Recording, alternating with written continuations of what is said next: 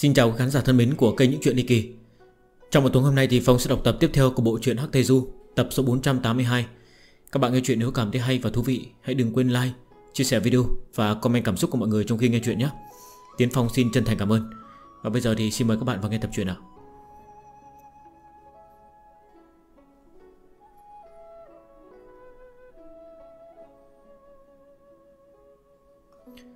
Hắc Tây Du Tập 482 Sắc mặt của lăng tiêu công tử Và tử tiêu công tử vô cùng đại nhạt, Cũng không hề có trạng thái thất kinh. Hiển nhiên là đã sớm dự đoán được diễn biến Của tổ đình lần này. Điều này khiến cho tần mục có chút thất vọng. Lão thất, Cho dù ngươi luyện tổ đình củng cố như thế nào, Thì cũng sẽ không thể vượt qua được phá diệt kiếp và sang sinh kiếp. Nhưng mà Ngọc Kinh Thành, Rồi lại có thể. Lăng tiêu công tử nhắc nhở, Người muốn luyện tổ đình Thành trọng bảo để áp chế Ngọc Kinh Thành, Chỉ là người si nói mộng. Lời hắn ta nói không phải là không có lý. Ngọc Kinh Thành tổ đình, Thực sự không phải là một ngày xây dựng thành công. Có thể nói là từ kỳ thứ hai, Chủ nhân Di La Cung đã bắt đầu luyện chế tòa thần thành này. Kết quả, Ở trong phá diệt kiếp, Kỳ thứ hai đã thất bại. Lần đầu tiên Tần Mục đến Di La Cung, Còn nhìn thấy được di tích Ngọc Kinh Thành. Sau đó cứ mỗi một kỳ Di La Cung lại dựa vào cơ sở của đống phế tích Mà tiếp tục hoàn thiện Ngọc Kinh Thành. Kỳ vọng Ngọc Kinh Thành có thể chờ đầy tất cả các sinh linh Bình an vượt qua phá diệt kiếp Và sang sinh kiếp. Tiến vào kỳ tiếp theo. Nhưng mà cứ sau mỗi một kỳ Di La Cung đều kết thúc bằng thất bại. Mãi cho đến kỳ thứ 15 Kỳ thứ 16 Bố cục Ngọc Kinh Thành mới được xác định. Rốt cục tòa thần thành này Cũng có thể vượt qua được phá diệt kiếp Và sang sinh kiếp. Tiếc nuối duy nhất chính là, Tuy thần thành có thể vượt qua phá diệt kiếp và sang sinh kiếp, Nhưng người trong thành lại không một ai có thể vượt qua được sang sinh kiếp. Lúc đối mặt với sang sinh kiếp, Các sinh linh đã phải chết vô cùng thê thảm. Vậy nên cho đến cuối cùng, Ngọc Kinh Thành Tổ Đình vẫn đón nhận kết quả thất bại. Tuy nói là như vậy, Nhưng Ngọc Kinh Thành Tổ Đình vẫn là tạo vật vĩ đại nhất, Tàn mục luyện chế Tổ Đình thành món thần binh mạnh nhất Từ kỳ thứ 17 Nhưng nếu như đặt ngang với Ngọc Kinh Thành Tổ Đình mà nói vẫn là thua kém rất nhiều. Tần Mục mỉm cười nói, Ngọc Kinh Thành được luyện chế ra Là để độ kiếp, Đặc tính chuyên dùng nhắm vào hai đại kiếp nạn phá diệt và sang sinh. Tòa thần thành này không chuyên về công kích, Mà ta luyện chế ra tổ đình hỗn nguyên đỉnh Lại chuyên để công kích và phong ấn. Thuật nghiệp có chuyên tấn công Công dụng của hai món bảo vật khác nhau, Đương nhiên uy lực cũng rất khác biệt. Tử tiêu công tử đạm mạc nói, Lão thất Ngươi biết vì sao lần trước chúng ta lại đồng ý với ngươi? Lặng lẽ chờ ngươi diệt trừ vô nhai nhị tỷ không? Chính là bởi vì Chúng ta đã nắm rõ ngươi ở trong lòng bàn tay. Ngươi phong ấn tổ đình, Luyện hóa tổ đình thành bảo. Chuyện này sao ta có thể không rõ ràng? Nhưng mà lúc Ngọc Kinh thành hàng lâm, Thì mọi nỗ lực của ngươi Xem như đều uổng phí, Đều là công giã chàng xe cát. Phong ấn của ngươi, Tổ đình hỗn nguyên đình của ngươi, Mấy nghìn người thành đạo ở dưới trứng của ngươi Di La Cung Chưa bao giờ quan tâm tới. Hắn ta ngẩng đầu, Nhìn về phía thiên khung, Nhìn bốn vách thiên bích của tổ đình hỗn nguyên đình, Thản nhiên nói, Chỉ cần Ngọc Kinh thành hàng lâm, Thì bất kể là nỗ lực gì của ngươi, Thì cũng đều có thể trở nên cực kỳ buồn cười. Phòng ấn của ngươi sẽ bị Ngọc Kinh thành đơn giản đánh thùng Hỗn nguyên đình của ngươi Sẽ bị Ngọc Kinh thành nú nhừ, Lục đạo thiên luân, Hồng trung vũ trụ của ngươi Đứng trước mặt Ngọc Kinh thành không thể chịu nổi một kích. Ngọc Kinh Thành vượt qua 16 kỳ vũ trụ, Vượt qua 16 dòng hỗn độn trường hà. Nó cũng không phải là thừa nhận chúng ta, Mà là thừa nhận mấy vạn năm lịch sử Cùng văn minh trong 16 kỳ đã qua. Hắn thu hồi ánh mắt, Mi mắt rủ xuống. Sức nặng của nó, Người không cách nào có thể tưởng tượng được đâu. Tần mục không nhịn được Mà bật cười, thành tiếng nói. Hai vị sư huynh mời ta đến đây Chính là để khoe khoang sự to lớn và trắng lệ của Ngọc Kinh Thành sao? Lăng tiêu công tử lắc đầu nói, Đương nhiên không phải như vậy. Dù sao ta và ngươi Cũng là sư huynh đệ đồng môn cùng một thầy. Người thường không thể so sánh được. Sư đệ, Trận chiến này nếu như ngươi thất bại, Ta và lão tứ sẽ không làm khó người duyên khang. Đại khái là ngươi có thể yên tâm. Tần Mục nghiêm nghị nói, Hai vị sư huynh khí lượng rộng lớn Khiến cho người ta khâm phục không phải là khí lượng rộng lượng. Lăng tiêu công tử thản nhiên nói, Là vì Xong trận chiến này, Sư đệ, Người với tư cách là người thất bại Sẽ bị chúng ta đánh về quá khứ, Mà người thành đạo Duyên khăng Tích lũy được trong 30 tỷ năm Cũng sẽ bị chôn vùi trong trận chiến này. Duyên Khang không kịp gượng dậy. Duyên Khang biến pháp Cũng chỉ là ảo ảnh ở trong mơ, Không đủ lực để uy hiếp đến Ngọc Kinh Thành. Thời điểm này, Ta thả mặc bọn hắn, Kỳ thực cũng không phải là rộng lượng. Công tử tử tiêu tiếp lời nói. Sư đệ tru sát vô nhai Diệt trừ nhị tỷ, Dẹp yên thế lực của vô nhai lão nhân. Dù cho ngươi thành đạo Ngọc Kinh Thành, Ta hàng lâm, Thì gánh nặng của vũ trụ này cũng sẽ không vì vậy mà gia tăng. Vậy nên, Ngọc Kinh Thành hàng lâm cũng không hề rút ngắn tuổi thọ của kỳ 17 Chúng ta sẽ có đủ thời gian để nghiên cứu, Làm thế nào để dẹp được phá diệt kiếp, Làm thế nào để vượt qua được sang sinh kiếp. Hơn nữa, Lão thất, Người trở lại quá khứ Người thành đạo duyên khang thân tử đạo tiêu, Trả năng lượng lại cho trời đất, Cũng sẽ giúp kỳ nguyên này kéo dài tuổi thọ. Lăng tiêu công tử mỉm cười tiếp. Lão thất, Người diệt trừ nhị tỷ Và vô nhai lão nhân, Hai cường địch có thể uy hiếp được cả Ngọc Kinh Thành. Làm Ngọc Kinh Thành hàng lâm, Cống hiến của người với Di La Cung, Thậm chí còn to lớn hơn cả hai vị sư huynh chúng ta. Ngô huynh cảm thấy hổ thẹn. Tần mục nhíu mày, Cười mà như không cười nói. Hai vị sư huynh đã bắt đầu học tâm thuật của ta rồi đấy. Xem ra trong 35 tỷ, Xem ra trong 35 tỷ năm qua, Trong quá trình đối trọi Hai vị sư huynh càng lúc là càng hiểu ta hơn. Ăn ngay nói thật mà thôi. Lăng tiêu công tử nói, Nội tình Ngọc Kinh Thành bày ở chỗ này, Cần gì công tâm? Chúng ta cũng không nghĩ như vậy, Nhưng mà quả thực lời nói thực của chúng ta lại có thể đà kích sư đệ người Tần Mục cười ha ha, Đứng dậy nói. Đã như vậy Vậy thì hãy để chân tướng lộ rõ đi. Ở trong lăng tiêu bảo điện, Lăng tiêu công tử đứng dậy, Cười nói. Đã như vậy, Thì hãy chân tướng lộ rõ đi. Được, Vậy hé mở chân tướng. Từ tiêu công tử cũng đứng dậy, Tiễn đưa sư đệ. Tần mục vội vàng nói, Hai vị sư huynh, Mời dừng bước. Hai vị công tử đưa tiễn, Tần mục quay đầu nhìn lại, Chỉ thấy 56 vị điện chủ Và một vạn 8.000 người thành đạo Di La Cung Cũng đã xếp hàng hàng lối chỉnh tề, Đi theo sau lưng hai vị công tử đưa tiễn hắn. Tần mục bước đến trước cửa Ngọc Kinh Thành, Quay người mỉm cười nói, Chư vị, mời dừng bước. Vậy thì sẽ không tiện nữa. Từ tiêu công tử nói. Tần mục phất phất tay, Từ biệt nói. Không cần tiện nữa, Mời trở về đi. Vừa dứt lời, Hắn đã lập tức trở lại độ thế kim thuyền. Ở trên kim thuyền, Mọi người đang định hỏi thăm, Thì chỉ thấy sắc mặt tần mục tối thui, Mở miệng phun ra đạo ngữ, Chất chứa sự ảo diệu của đại đạo. Đạo âm vang vọng khắp tổ đình. Di La Cung, Một nơi mục nát, Ngọc Kinh Thành chúng ta, Toàn là thế hệ mục nát. Gieo rắc tai họa trong 16 kỷ nguyên, đều khiển chúng sinh, Xem tính mạng của chúng sinh như trò đùa.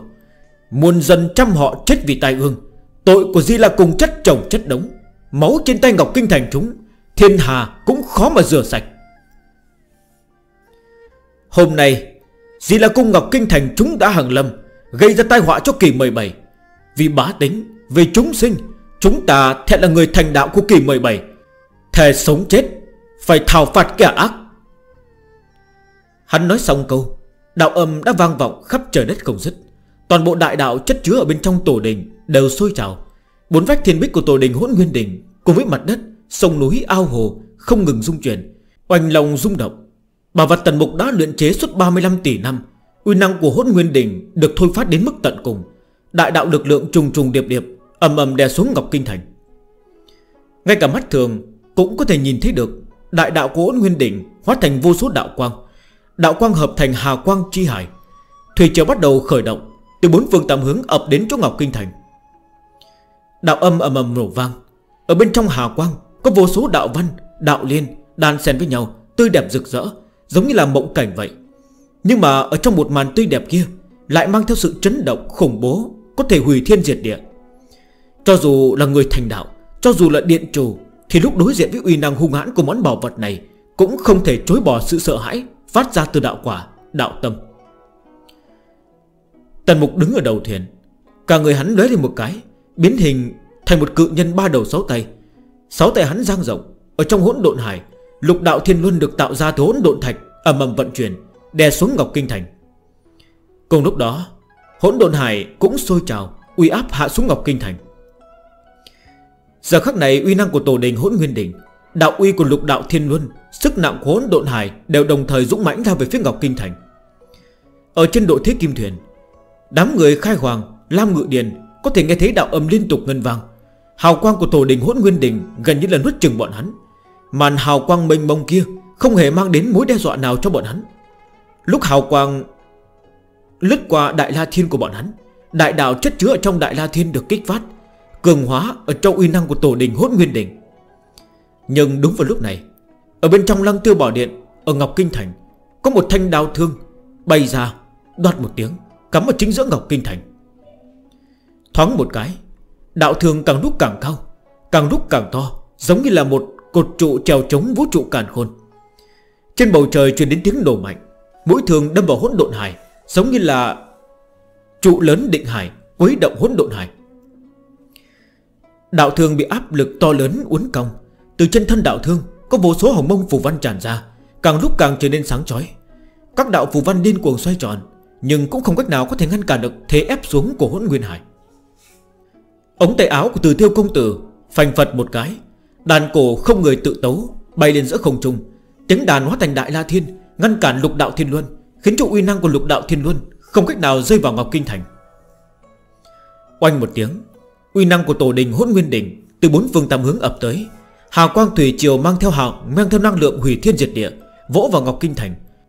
Thế nhưng Ngọc Kinh Thành vẫn lù lù bất động Trong sự trùng kích dữ dội này. Ở trong thành, Rừng đạo thụ bị từng trận cuồng phong quét qua, Cành lá sao động, Nhưng không một gốc đạo thụ nào có dấu hiệu bị hao tổn. Đồng từ tần mục đột nhiên co rút lại. Toàn Ngọc Kinh Thành này đã trải qua phá diệt kiếp, Sang sinh kiếp của vũ trụ. Lúc chưa hoàn thành hàng lâm, Thì còn có thể công phá, Nhưng khi nó đã hàng lâm hoàn toàn rồi thì ngay cả lao cũng không thể xuyên thủng nổi. Vù một tiếng, Lục đạo thiên luân từ trên không trung bay đến, Tần mục lăng không tung bay, Chân đạp hư không Vọt đến chỗ Ngọc Kinh Thành. Lục đạo thiên luân lập tức lấy hắn làm trung tâm, Điên cuồng vần quanh. Từng vòng luân hồi cực lớn Được xây dựng từ hỗn độn thạch, Gào thét chuyển động. Quanh người hắn, càng lúc càng phát lớn. Khai hoàng tần nghiệp Cất bước nhảy ra khỏi kim thuyền, Nhảy vào một đạo luân hồi 40 tầng đạo cảnh của y Đồng thời trải rộng. Kiếm đạo thánh điện trí cao Tọa lạc tại vị trí cao nhất trong 40 tòa chư thiên kiếm đạo. Ở trong lục đạo luân hồi Tỏa sáng rực rỡ. Lam Ngựa Điền cũng nhảy vào một đạo luân hồi. Tổ đình đạo cảnh trải rộng ra Thế giới thụ đứng vững Cũng có một tòa bảo điện tọa lạc. Đám người hư sinh hoa Tần Phượng Thanh, Giang Bạch Khuê Tinh Ngạn cũng lần lượt nhảy ra khỏi kim thuyền Tiến vào lục đạo thiên luân. Bọn hắn chia nhau, tọa chấn khắp các mặt chính phản của lục đạo thiên luân. Từ người một trải rộng đạo cảnh của mình. Đại La Thiên bành trướng, Thế giới thụ cắm rẽ ở bên trong tổ đình. Ở trong Đại La Thiên, Có ngũ thái quay chung quanh bảo vệ. Oanh một tiếng, Đợt công kích thứ hai, Thứ ba của tổ đình hốt nguyên đình Nối gắt nhau mà tới. Các đạo công kích lướt qua lục đạo thiên luân, Hướng thẳng đến Ngọc Kinh Thành. Đại đạo hào quang gần như là bao trùm toàn bộ tòa thần thành cổ xưa kia. Toàn bộ tổ đình Từng đạo sơn mạch, Hoặc là trầm xuống, Hoặc là hở ra. Sông lớn hoặc là biến mất, Hoặc là âm trầm dậy sóng. Nhưng không ngừng cải biến thiên địa, Thay đổi kết cấu đại đạo hỗn nguyên đỉnh tổ đình. Nhật Nguyệt tinh thần, Đại dương bao la Đều trở nên sáng chói vô cùng. Hồng mông phù văn khắp nơi ở trong tổ đình Đều sáng lên, Giúp tổ đình hỗn nguyên đỉnh Thi triển ra nhiều loại đạo pháp khác nhau Để tấn công Ngọc Kinh Thành. Ý định tìm ra kẽ hở của Ngọc Kinh Thành.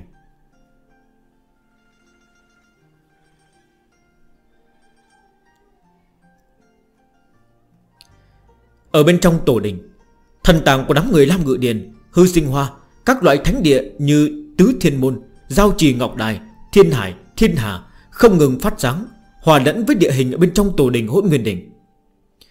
Một mình tần mục khó có thể phát huy được toàn bộ uy năng của tổ đình hỗn nguyên đỉnh Nhưng có được sự phụ tá của 3.000 người thành đạo bọn hắn Uy năng của tổ đình hỗn nguyên đỉnh Bộc phát ra càng lúc càng mạnh Có xu thế đạt đến cực hạn. Oanh một tiếng Lục đạo thiên luân men theo hào quang chấn động, Tổ đình nguyên đình Cắt về phía cửa thành Ngọc Kinh Thành. Cửa thành cũ kỹ của Ngọc Kinh Thành Kịch liệt lắc lư, Nhưng cũng không bị phá mở. Oanh một tiếng, Lại một trận va chạm kịch liệt truyền tới. Ngọc Kinh Thành vẫn chưa bị công phá. Trong mắt tần mục hiện lên một mảnh hỗn độn. Hỗn độn điện sau lưng hắn bất ngờ bay lên, ầm ầm vọt đến Ngọc Kinh Thành. Lục đạo thiên luân Và tổ đình hỗn nguyên đình Cũng đồng thời bay lên. Oanh một tiếng Cửa thành Ngọc Kinh Thành bị công phá. Trên tường thành xuất hiện một vết nứt rất dài, Nhưng vẫn không bị vỡ ra. Vào đúng lúc này, Hồng Trung Vũ Trụ Treo trước hỗn độn điện chợt len khe một tiếng vang rồi Uy năng của sang sinh kiếp tràn ra, Xâm nhập vào Ngọc Kinh Thành. Hồng Trung Vũ Trụ thu bé lại, Hóa thành uy năng của phá diệt kiếp, Một lần nữa oanh kích Ngọc Kinh Thành. Cùng lúc đó, Tần Mục rút hỗn độn kiếm ra, Một kiếm đầm ra. Dầm một tiếng, Tường thành sụp xuống, Bay ngược về phía sau. Đè lên rừng đạo thụ ở bên trong thành. Phá diệt kiếp của kỳ 15 Và kỳ 16 Cũng không cách nào có thể phá vỡ được Ngọc Kinh Thành Tổ Đình. Đây là lần đầu tiên Tòa thần thành này bị công phá. Tường thành ầm ầm sụp xuống. Lúc sắp sửa đè dạp ở lên rừng đạo thụ Thì một bàn tay lớn vươn ra, Từ tiêu công tử chớp chớp mắt, Dùng tay nâng bức tường thành kia lên. Cờ thành không ngừng nổ tung, Lục đạo thiên luân cực lớn Nghiền nát cửa thành. Tần mục đứng chính giữa thiên luân, Lăng không tiến vào trong thành. Uy năng của tổ đình hỗn nguyên đỉnh Từ cửa thành đã sập ngọc kinh thành Gào thét xâm nhập vào bên trong. Uy lực mênh mông Những nơi có uy lực này lướt qua Kiến trúc ngọc kinh thành ầm ầm sụp đổ. Ở trong thành Từng vị người thành đạo điện chủ tiến lên Thúc dục đạo quả. Hơn hai vạn miếng đạo quả lơ lửng Định trụ uy năng ở hỗn, hỗn nguyên đỉnh Mỗi vị điện chủ đều đứng trước bảo điện của mình. 56 vị điện chủ hiên ngang đứng vững. Đột nhiên Tổ đình kịch liệt thu nhỏ lại. 35 tỷ năm trôi qua Tổ đình đã thu nhỏ lại, Chỉ còn được 1% so với lúc xưa. Mà hiện tại tổ đình lại đang thu nhỏ lại Với một tốc độ mắt thường có thể thấy được. Bốn vách tường tổ đình, Hỗn nguyên đỉnh Không ngừng đè ép đến về phía trung tâm. Địa hình sông núi nhanh chóng co rút lại, Làm cho uy lực của chiếc đỉnh này Càng lúc càng áp xúc, Uy năng càng ngày càng mạnh. Tường thành bao quanh Ngọc Kinh Thành Bị ép cho không ngừng sụp xuống, Mơ hồ xuất hiện xu thế tàn dã toàn diện. Từ tiêu công tử dối tay ra từ trong thân đàn cổ rút ra đạo kiếm của chính mình, Sắc mặt quán vô cùng bình tĩnh, Nhìn chằm chằm vào tần mục đang đứng ở trung tâm lục đạo thiên luân. Tần mục cất bước đi tới, Đạo binh của 3.000 người thành đạo Duyên Khang Ở trong lục đạo thiên luân bay múa, Thần thông bắn ra bốn phía, Phối hợp với uy năng của tổ đình hỗn nguyên đỉnh Công kích thiên cung vạn điện ở trong Ngọc Kinh Thành. Xu thế muốn săn bằng tòa thành Mà ngay cả phá diệt kiếp và sang sinh kiếp Cũng không thể làm gì được này.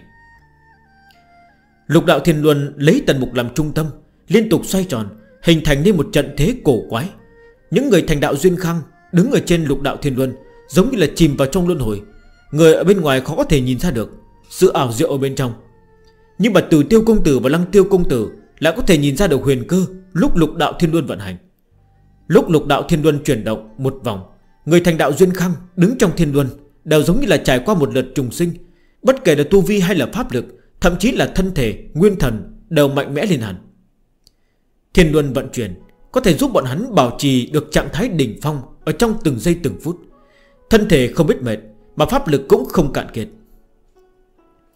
Lục đạo thiên luân Có hai công dụng nổi trội nhất. Thứ nhất chính là lúc người thành đạo Rơi vào lục đạo thiên luân. Thân thể và pháp lực của bọn họ Sẽ bị tước đoạt hết Ngay cả giống loài cũng bị cải biến. Rơi vào luân hồi chi đạo Thì bất cứ lúc nào Người cũng có thể chết Thậm chí là còn chết mà không rõ lý do. Công dụng khác của lục đạo thiên luân Chính là công dụng đang phô bày ra trước mắt này Chính là giúp người thành đạo duyên khang Luôn luôn duy trì được trạng thái đỉnh phong Bất tử bất diệt. Tử tiêu công tử Đã từng giao thủ với tần mục Nhưng mà người ra tay phải Lại là thất công tử tần mục Chứ không phải là tần mục của bây giờ. Lúc ấy khi thất công tử tần mục vừa, vừa mở mi tâm thụ nhãn ra một sợi dây đàn của hắn lập tức bị cắt đứt. Tam công tử lăng tiêu Cũng đã từng giao thủ với tần mục rồi. Lúc ấy tần mục ngồi yên một chỗ, Là một đạo quả ở trên thế giới thụ xuất kích, Nghênh tiếp toàn lực của lăng tiêu công tử, Khiến cho lăng tiêu công tử biết khó mà lui. Khi đó hai người bọn hắn đều không mò ra được độ sâu của tần mục. Thậm chí, Ở trong 16 kỳ vũ trụ đã qua, Không một ai biết được Tần mục có tổng cộng bao nhiêu viên đạo quả, Sở hữu những thần thông gì dù cho tần mục cũng ghi chép lại pháp môn hỗn độn thành đạo của mình, Đặt trong nội dung nội cung Di La Cung, Nhưng không một ai xem hiểu cả. Đáng sợ hơn chính là, Ở trong vũ trụ quá khứ, Gần như một không một ai Có thể tận mắt chứng kiến tần mục động thủ. Có lẽ Tần Mục đã từng ra tay, Nhưng mà người có thể nhìn thấy được hắn xuất thủ Thì hơn phân nửa đều đã chết. Ngay cả chủ nhân Di La Cung Thì cũng đã từng nói, Thần thông của thất công tử hỗn độn, Ông ấy cũng không hiểu lắm. Bởi vì không biết gì về Tần Mục, Nên Đăng Tiêu Công Tử và Tử Tiêu Công Tử Không cách nào từ chỗ thất công tử Để phỏng đoán ra đạo pháp thần thông của Tần Mục. Thật may là trong 35 tỷ năm qua, Bọn hắn đã gần như là nghiên cứu thấu triệt đạo pháp thần thông của Tần Mục rồi. Cho dù lục đạo thiên luân của Tần Mục Là vô cùng tinh diệu, Nhưng mà lại chẳng thể nào mang được đến uy hiếp Đối với bọn hắn. Không đủ để khiến cho bọn hắn ngã vào luân hồi, Nhưng mà một trong các uy năng đặc thù của lục đạo thiên luân Lại chính là uy hiếp chí mạng đối với Ngọc Kinh Thành. Chỉ cần có lục đạo thiên luân ở đây, Thì người thành đạo Duyên Khang Sẽ bất tử bất diệt. Từng giây từng phút đều đạt trạng thái đỉnh phong, Hầu như là không thể giết hết. Có thể nói, Lục đạo thiên luân đã biến người thành đạo Thành 3.000 vật chất bất dịch. Oanh một tiếng, Từng cỗ chấn động từ ngoài thành truyền đến càng lúc càng kịch liệt. Tổ đình đã thu nhỏ lại, Chỉ còn là một phần nghìn lúc trước. Nhưng quá trình này, Quá trình thu nhỏ này Vẫn đang tiếp tục diễn ra. Lúc này Khách cảnh giữa bốn vách đại đình Mà Ngọc Kinh Thành đã là rất gần rồi. Đương nhiên, Đây chẳng qua là sự đánh lừa thị giác mà thôi. Tổ đình cực kỳ khổng lồ, Dù đã thu nhỏ lại, Chỉ còn một phần nghìn so với lúc ban đầu, Thì khoảng cách từ bốn bức thiên bích đến Ngọc Kinh Thành Vẫn còn xa xôi. Nhưng mà với tốc độ thu nhỏ như vậy, Chỉ sợ không bao lâu nữa, Bốn vách tổ đình hỗn nguyên đỉnh Sẽ áp sát ở bên dưới Ngọc Kinh Thành. Đến lúc đó, Toàn bộ uy năng của hỗn nguyên đỉnh sẽ được co cụm lại trong một khoảng không gian hẹp, Trực tiếp đè nén lên Ngọc Kinh Thành. Lấy uy năng đáng sợ của món trọng khí Được luyện chế từ tổ đình, Chỉ sợ Ngọc Kinh Thành rất có thể sẽ bị chấn nát. 56 vị điện chủ Và một vạn 8.000 người thành đạo, Giờ phút này đều cảm thấy hoang mang, Người nào người đấy đều quay đầu nhìn về phía hai công tử, Nhưng nét mặt của Lăng Tiêu Công Tử Và Tử Tiêu Công Tử Vẫn vô cùng lạnh nhạt. Bọn hắn thong dòng nhìn tần mục khống chế lục đạo thiên luân, Tàn sát bừa bãi Tùy ý phá hỏng kiến trúc ngọc thiên đình. Càng lúc càng đến gần bọn hắn. Ở một tiếng, Tường thành trung quanh Ngọc Kinh Thành lung lay, Lại có một phần tường thành sụp đổ. Lúc này đứng ở trong thành, Đã có thể nhìn thấy sông núi ở bốn vách hỗn nguyên đỉnh rất rõ ràng, Thậm chí là có thể thấy rõ cây cối ở trên núi. Khoảng cách giữa bốn vách hỗn nguyên đỉnh với Ngọc Kinh Thành đã rất ngắn. Rốt cục, Lục đạo thiên luân cũng đã tiến vào trước khu rừng đạo thụ ở trong thành. Ở phía sau rừng đạo thụ Chính là từng dòng hỗn độn trường hà. Ở trong rừng đạo thụ Rất nhiều người thành đạo Di La Cung Đã cảm nhận áp lực, cuồng dã. Không sai, Chính là cảm giác áp bách cuồng dã, Không thể ngăn cản. Bọn hắn đều đã từng gặp thất công tử tần mục, Nhưng mà số lần cùng nhau xuất hiện là rất ít.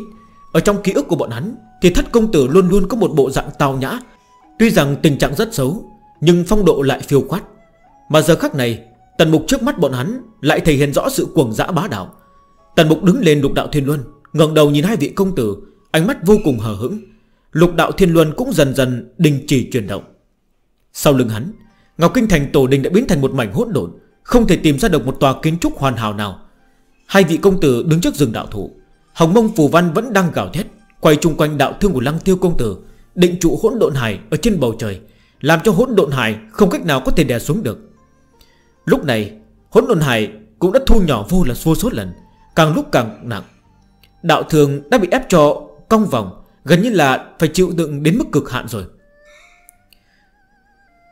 Oanh một tiếng, Lại một cỗ chấn động kinh khủng truyền tới. Một mảnh tường thành Ngọc Kinh Thành sụp xuống. Vô số gạch đá tung bay. Hồng mông phù văn lạc ấn trên gạch đá cũng bị oanh vỡ. Bốn vách tổ đình hỗn nguyên đình, Chỉ còn cách Ngọc Kinh Thành tổ đình chừng trăm dặm. Chỉ riêng áp lực nặng nề đến từ món trọng khí này Cũng đã đủ để khiến cho rất nhiều người thành đạo ở trong thành Cảm thấy ngột ngạt. 56 vị điện chủ. Tại giờ phút này cũng đã bắt đầu đứng ngồi không yên, Không ngừng quay đầu nhìn về phía hai vị công tử. Trên trán đổ đầy từng giọt mồ hôi lạnh. Lăng tiêu công tử, Từ tiêu công tử vẫn bình tĩnh thong dòng như trước, Không hề để ý đến một màn kia. Ngoài thành truyền đến từng âm thanh chói tai. Xoẹt một tiếng, Đó là âm thanh phát ra do tường thành Ngọc Kinh Thành lung lay sắp đổ Trước sự đè nén của một luồng áp lực khủng bố. Đột nhiên, Xung quanh Ngọc Kinh Thành, Từng tảng tường thành sụp xuống. Mà bốn vách tổ đình hỗn nguyên đỉnh Rốt cuộc cũng đã tiến vào Ngọc Kinh Thành. Ở trong thành, Hầu như tất cả mọi người đều rơi vào trong đại đỉnh. Bất cứ lúc nào cũng có thể bị chôn vùi dưới uy năng của một miệng đại đỉnh này. Công tử, Một người thành đạo không chịu nổi nữa Mà thốt lên. Từ tiêu công tử đánh đàn, Tiếng đàn réo rắt, dồn dập, Hàng ngàn đại la thiên di vực, Dị vực Bao trùm bốn phía Ngọc Kinh Thành, Ngăn cản uy năng của hỗn nguyên đỉnh Đang ở bốn phương tam hướng vọt tới. Chỉ thấy các đại la thiên dị vực Không ngừng sinh sinh diệt diệt, Ngoại lực không cách nào có thể công phá được. Tần mục nhấn mày. Lão thất, Người biết không? Bàn tay của lăng tiêu công tử Rơi vào trên đạo thương. Đạo thương này đã bị hỗn độn hải Đè cho cong vòng, Lập tức thẳng tắp. Uy năng của đạo thương xuyên thủng hỗn độn hải, Hồng mông phù văn tràn ra từ thân thương, Liên tục xoay tròn Xè rách hỗn nguyên hải. Xè rách hỗn độn hải. Xung quanh đạo thương Hình thành nên một vòng xoáy đáng sợ, Gào thét chuyển động. Lăng tiêu công tử nhạt lạnh nói, Ngọc Kinh Thành là do lão sư luyện chế ra, Dùng để độ chúng sinh vượt qua phá diệt kiếp và sang sinh kiếp. Có thể nói tòa thần thành này Chính là vật bất dịch Thứ ba ở trong kỳ vũ trụ. Đột nhiên, Đạo thương quán xoay tròn. Trong lúc đó, Những mảnh tường xương đã bị sụp xuống của Ngọc Kinh Thành, Lập tức khôi phục lại nguyên trạng. Theo Ngọc Kinh Thành gào thét bành trướng theo sự xoay tròn của đạo thương Mà liên tục xoay tròn, Một cỗ rung động kinh khủng truyền đến. Tổ đình hốt nguyên đình Bị Ngọc Kinh Thành đang xoay tròn bành trướng, Chấn động trên năm xe bảy. Lăng tiêu công tử vươn tay rút đạo thương, Ngọc Kinh Thành nhanh chóng thu nhỏ lại, Rơi xuống bên dưới. Một tiếng đổ mạnh long trời lở đất truyền tới. Mặt đất bên trong hỗn nguyên đỉnh Nứt vỡ ra, Oanh tạc thành một lỗ thủng lớn. Xung quanh Ngọc Kinh Thành, Vô số mảnh đại lục càn quét, Tản ra khắp bốn phương tam hướng. Công tử Lăng Tiêu gạt trường thương Ngọc Kinh Thành đình chỉ xu thế rơi xuống, Bất chợt lao lên trời Nhìn tiếp hỗn độn hải đang áp xuống. Oanh một tiếng, Ngọc Kinh Thành lao thẳng vào hỗn độn. Mảnh hỗn độn hải kia Lập tức trên âm xà bầy. Ngọc Kinh Thành tổ đình, Sở dĩ có hai chữ tổ đình Là bởi vì tọa lạc ở trong tổ đình, Chứ không phải là một bộ phận của tổ đình. Trên thực tế, từ kỳ thứ hai, Tòa thần thành này đã được luyện chế rồi, Vượt qua một kỳ nguyên vũ trụ, Nó đã sớm rộng lớn hơn tổ đình rất nhiều. Ngọc Kinh Thành bay ra khỏi tổ đình hốt nguyên đỉnh Bên dưới là vô số mảnh lục địa tổ đình bị cắt nát. Hồng thủy, Phong hỏa quần quận, siết chặt, Tựa như tận thế vừa hàng lâm đến tổ đình. Đây chính là uy năng của Ngọc Kinh Thành, Vật bất dịch thứ ba, Nơi che chở cho ngàn vạn người thành đạo.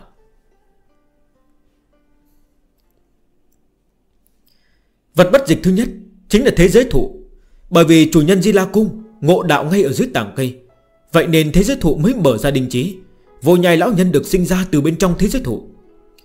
Thế giới thụ Là vật thiên nhiên có thể vượt qua phá diệt kiếp Và sang sinh kiếp, Trở thành con đường nhập cư trái phép cho các cường giả tiền sử.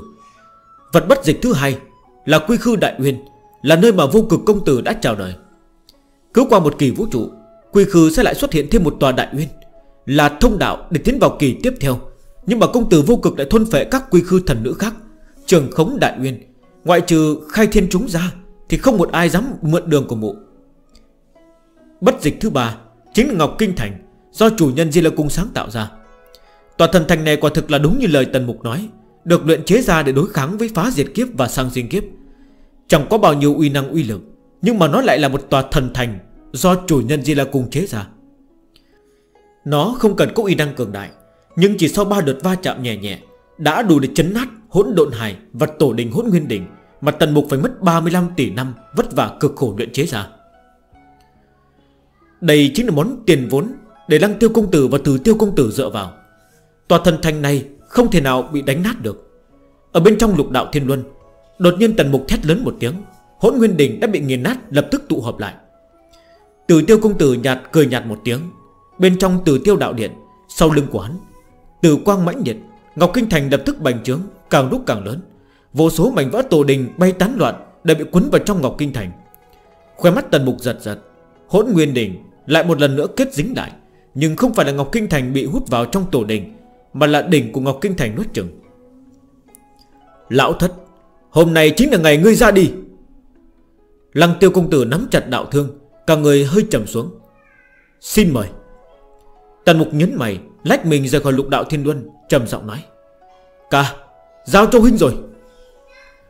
Tần Vận Thanh lập tức thoát thân ra khỏi thân lục đạo thiên luân nhảy vào vị trí trung tâm của lục đạo thiên luân, Khống chế thiên luân. Người nên cẩn thận một chút, Đừng để người ta bị đánh chết. Nếu như Nếu như không ngăn được, Vậy thì ngươi hãy trở về quá khứ đi. Tần mục nhếch miệng cười cười, Hỗn độn điện bay lên, Hỗn độn hải ập tới, Gào thét lao về phía hỗn độn điện, Hùng hồn nói, Trận chiến này không thể thua được.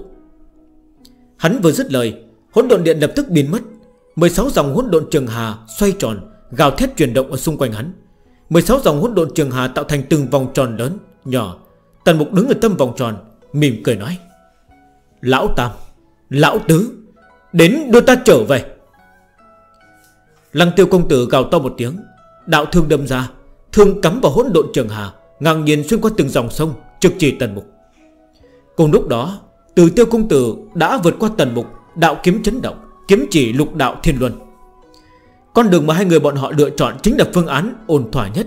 Lăng tiêu công tử quyết định với tần mục, Từ tiêu công tử phá hủy lục đạo thiên luân, Vây quét người thành đạo Duyên Khang. Quan trọng hơn chính là, Khi lục đạo thiên luân bị huyệp phá hủy, Người thành đạo Duyên Khang Phải đối mặt với sự chết chóc. Bọn hắn tuyệt đối không phải là đối thủ Ngọc Kinh Thành chúng. Mà sau khi tiêu diệt người thành đạo Duyên Khang rồi nếu như Lăng Tiêu Công Tử vẫn chưa hề đánh bại Tần Mục, Vậy thì từ Tiêu Công Tử đã có thể trợ giúp hắn một tay, Đả thương Tần Mục, Rồi đưa vong hắn lại đến quá khứ. Trận chiến này có thể nói là không có điều gì không phải lo lắng. Ngay trong nhà mắt, Từ Tiêu Công Tử cất bước lên tiến vào lục đạo thiên luân, Thì đột nhiên, trước mặt hắn Là một mảnh hốt độn bao la mở mịt, Một dòng sông hốt độn trường hà dài hẹp, Lũ lượt lao tới, Kéo hắn vào bên trong vòng chiến với Tần Mục. Ở phía bên kia Trường thương của Lăng Tiêu Công Tử, Một thương đâm qua, Ý định vén lên hỗn độn trường hà, Để cho tứ công tử tử tiêu thoát thân. Nhưng mà đạo thương của hắn lại đột nhiên bị đè nặng xuống. Hỗn độn trường hà Cũng không bị vén lên. Đột nhiên Lăng Tiêu Công Tử dùng sức, Đạo thương bị ép cho cong vòng, Nhưng vẫn không cách nào có thể xoáy hỗn độn trường hà lên. Hắn ta phóng tầm mắt quan sát, Chỉ thấy 16 dòng hỗn độn trường hà xung quanh tần mục Đột nhiên trở nên vô cùng rộng lớn, Mênh mông bát ngát, Tựa như 16 dòng hỗn độn trường hà Bao quanh Di La Cung ở bên trong Ngọc Kinh Thành. Xung quanh là sương mù dày đặc, Căn bản là không thể nào nhìn thấy được bờ bên kia. Hỗn độn sương mù hoàn toàn che lấp mặt sông, Không cách nào phân biệt được phương hướng. Thậm chí hắn ta còn không thể xác định được vị trí của từ tiêu công tử, Càng không thể biết được tần mục đang ở đâu. Hỗn độn. Sau khi 16 kỳ vũ trụ bị phá diệt, Thì sẽ thành hỗn độn. Nội tâm của lăng tiêu công tử thoáng trầm xuống, Rút đạo thương ra khỏi sông, Đứng thẳng lên mặt sông. Hắn ta không xác định hiện tại bản thân đang ở trong phá diệt kiếp của kỳ thứ mấy, Cũng không biết phương hướng. Lần trước khi giao thủ với Tần Mục Tần Mục đã lưu tu luyện đến tầng thứ 36 đạo cảnh. Lúc này hắn cũng thi triển ra một chiêu hỗn độn trường hà này.